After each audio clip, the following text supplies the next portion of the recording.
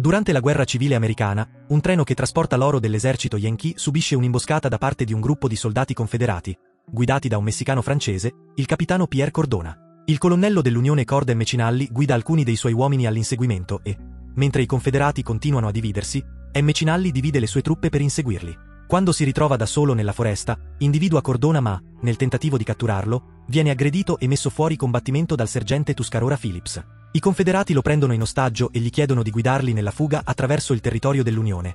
Ma mentre si avvicinano a un accampamento dell'Unione, M. Cinalli grida e scappa. La maggior parte dei confederati fugge, ma M. Cinalli riesce a tirare Cordona da cavallo e a metterlo fuori combattimento. Tuscarora si nasconde sotto l'acqua e, quando i soldati dell'Unione lo superano, torna indietro per aiutare Cordona, ma M. Cinalli cattura anche lui.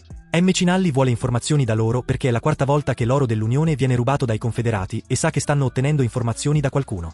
M. Cinalli si offre di farli fuggire, ma Cordona e Tuscarora si rifiutano di dargli risposte e vengono messi in un campo per prigionieri di guerra. Dopo la fine della guerra civile, mentre Cordona e Tuscarora vengono rilasciati, M. Cinalli li aspetta per salutarli e li invita a bere qualcosa.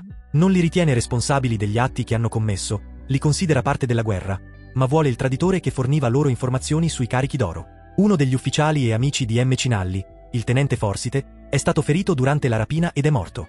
Dicono a M. Cinalli che si trattava di due uomini, ma erano scuri e uno era un uomo grosso con i capelli scuri e l'altro era più piccolo con i capelli bianchi, ma non sanno i loro nomi. Tuscarora dice a M. Cinalli che andrà a Rio Lobo a lavorare per il vecchio Phillips, che lo ha cresciuto.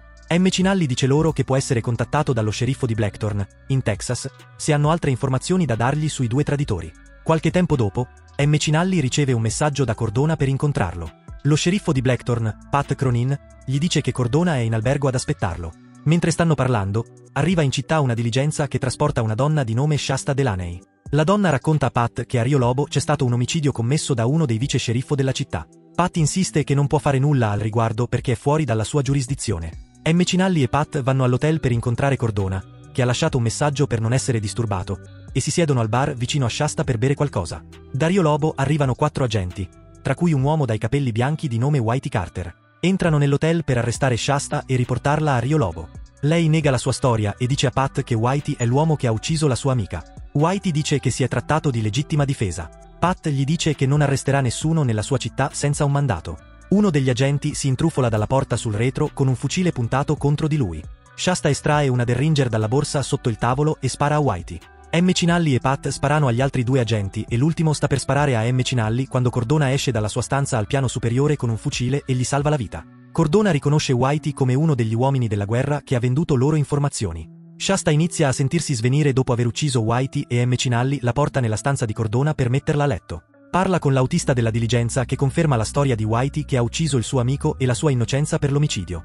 Cordona dice a M. Cinalli che Whitey lavorava per un ricco yankee, ma questo è tutto ciò che lui e Tuscarora hanno scoperto. Gli dice anche che il vecchio amico di Tuscarora, Phillips, sta avendo problemi a Rio Lobo a causa di persone che vogliono portargli via la terra. Spera che M. Cinalli lo aiuti in cambio del loro aiuto e accetta. Shasta si sveglia e si offre di andare con loro perché conosce Rio Lobo e sa con chi parlare di tutto quello che sta succedendo. I tre arrivano e si intrufolano in città a notte fonda. Vanno a trovare la ragazza di Tuscarora, Maria.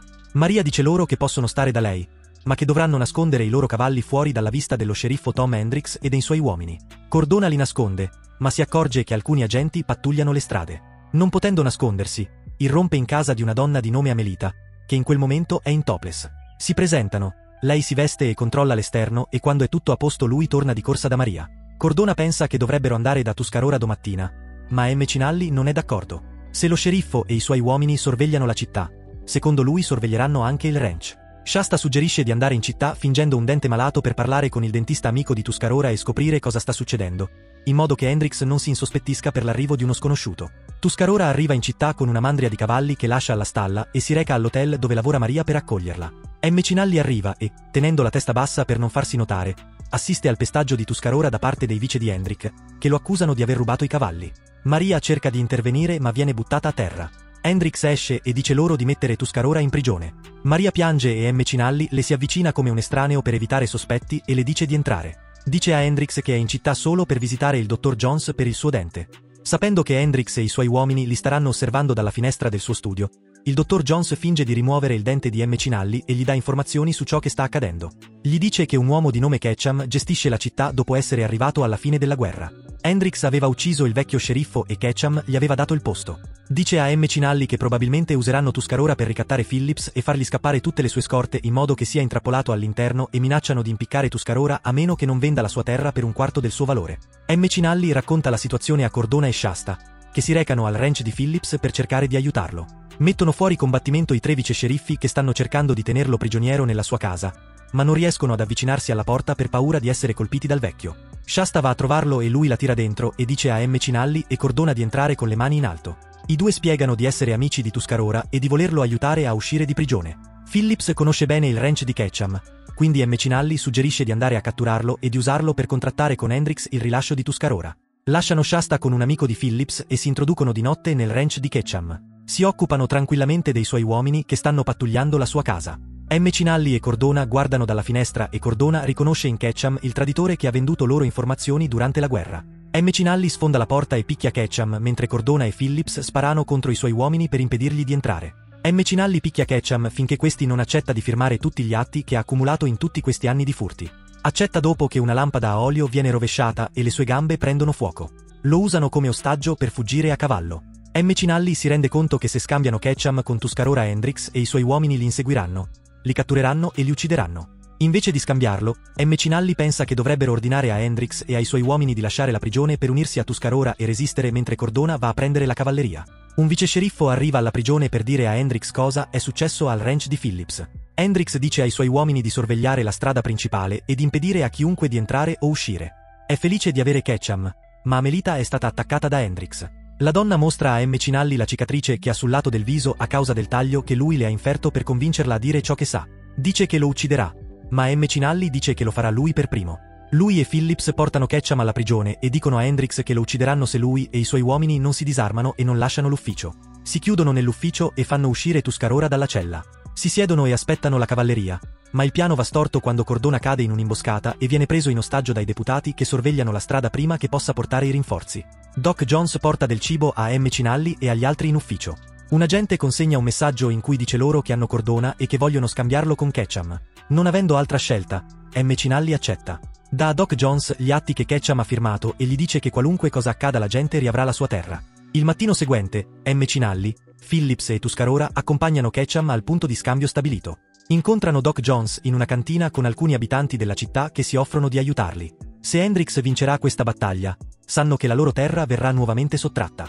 Alcuni di loro si nascondono armati per la città, mentre Tuscarora si nasconde nell'acqua che si trova tra la cantina e il granaio dove Hendrix e i suoi uomini tengono Cordona. M. Cinalli grida a Hendrix di liberarlo in cambio di Ketchum. Ketchum e Cordona iniziano a camminare l'uno verso l'altro e Tuscarora fa un segnale a Cordona dal torrente e Cordona salta in acqua. M. Cinalli ordina a Ketchum di non andare oltre o gli sparerà. Hendrix lo rivuole indietro ma M. Cinalli gli dice che non gli serve a nulla perché gli atti sono stati consegnati al popolo e sono entrambi al verde. Hendrix è pieno di rabbia e spara a Ketchum. M. Cinalli spara a Hendrix alla gamba e viene a sua volta colpito alla gamba da uno dei deputati. Ha luogo una sparatoria. Non passa molto tempo prima che gli uomini di Hendrick siano in inferiorità numerica. Dopo un tentativo fallito di far saltare in aria la cantina con la dinamite, gli uomini rimasti decidono di scappare da Hendrix. Hendrix cerca di impedire loro di andarsene sparando. Ma dopo aver usato il suo fucile come bastone per zoppicare, con la canna rivolta verso il basso, il fucile si intasa di fango e quando spara gli esplode in faccia. Zoppica verso il suo cavallo, ma alle sue spalle appare Amelia, armata di fucile. Lui cerca di girarsi per spararle, ma non è abbastanza veloce e lei lo uccide con due colpi.